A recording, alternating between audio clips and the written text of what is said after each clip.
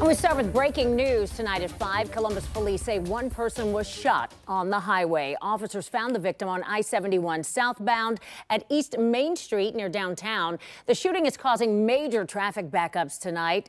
This was the scene just minutes ago. Thanks for joining us tonight. I'm Yolanda Harris. Andrew has the is on assignment. Now we want to get straight to a shooting that we're tracking tonight. Ashley Bornancin is live downtown right now. And Ashley, what do we know about this so far?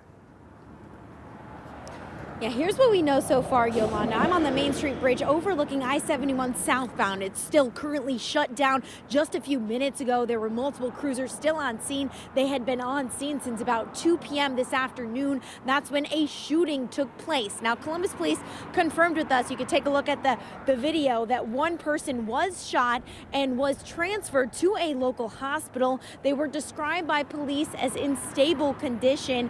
That person was found in the southbound lanes of I-71 near East Main Street. Now, police expect the highways to reopen momentarily, but right now it's unclear when that is happening officially. We will, of course, keep you updated out here. Currently, people are taking the I-71 exit at Fifth Avenue. Now, we're looking and we're working to gather more details for you surrounding the shooting and how many people were involved. We did see someone being taken away in handcuffs, but nothing confirmed as of yet. We're going to keep you updated on air air and online at 10tv.com. Reporting live in downtown, I'm Ashley Bornancin for 10 TV News.